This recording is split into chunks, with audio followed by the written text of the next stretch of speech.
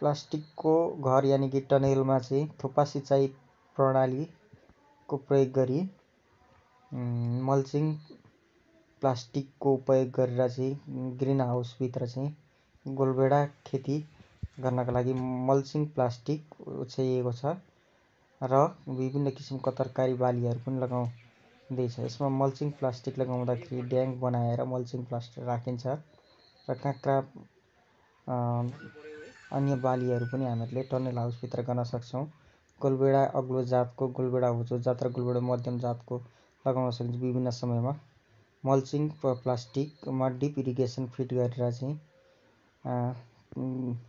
विभिन्न किसिमको तरकारी लगाउन सकिन्छ।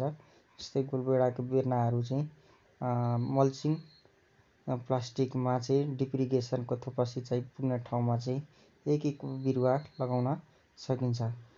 यो लगाइसके पछाडि डिप इरिगेसनको सहायताले पानी लगाइदिने र डिप इरिगेसनकै माध्यमबाट पनि बिरुवालाई आवश्यक पर्ने विभिन्न खाद तत्त्वहरू चाहिँ सजिलै दिन सकिन्छ।